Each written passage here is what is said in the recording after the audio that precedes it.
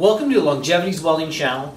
I'm Tim Roble, and today I'm happy to announce a brand new machine. It's the Pro MTS 200.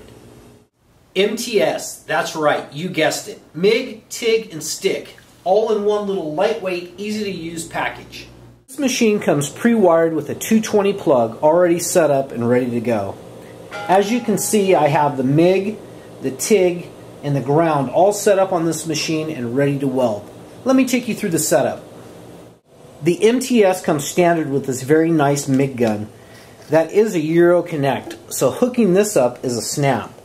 Simply you'll just insert this in, line it up, and screw it down.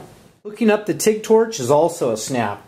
TIG torch gets installed on the negative side. just give it a twist, lock it down. This is a little three pin for your torch trigger, and you'll just simply line this up and push it in place. This will be your gas for your argon flow on the TIG process.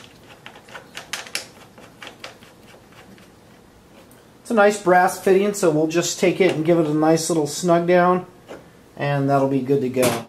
We're supplied with a very nice ground, once again high spring tension, copper lined, clips to your workpiece or to your welding table. And then we'll simply Install the ground on the positive side and lock her down.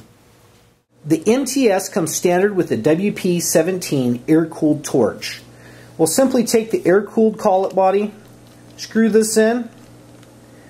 I've installed some 2% lanthanated tungsten on my 332nd collet. I'll drop this down. Since I do have a large piece of tungsten, I'll install the large top. Screw that down and then I'll take a number 6 cup and install that. That's pretty much it for building the torch. It comes with everything you see here. Set for tungsten. It has a torch trigger that works in both 2T and 4T modes. And then this is a new little item on the torch and it allows you to adjust your argon flow while you're actually welding. And for the stick process, we have the new type stinger that allows multiple different configurations for holding your electrode. Located on the back is the power switch. Turn that to on. You'll notice that the quiet running high efficiency cooling fan comes on. Right now we're in a stick mode on the upper left hand corner so we just push this one more time. Now we go to MIG, one more time down in the stick and back to TIG mode. We have both 2T and 4T. We have our amps that we can tune in. This is a DC only machine, but it's also capable of welding aluminum on the MIG side. There's an optional spool gun available for this unit, so it makes this very, very versatile.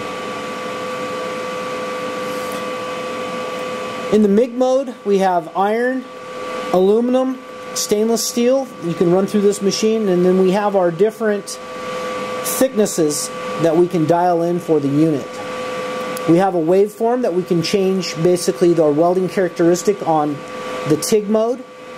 And then this in the stick mode actually works as arc force and in the MIG mode it works for your wire speed for tuning that in. I'm super excited about this new unit.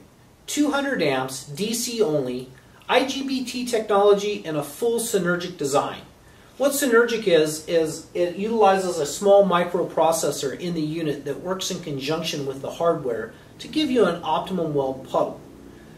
What I really like is this MIG process and the TIG process can stay hooked up at the same time and it's just a simple push of the button to switch between the two. What I really like about that is I might be over trying to hold a part and manipulate it into, into place and now I can use the MIG function and just come through and tack some things up. Remove the part, bring it back to the table. Now I can switch over to a TIG process and weld it up with an award-winning weld.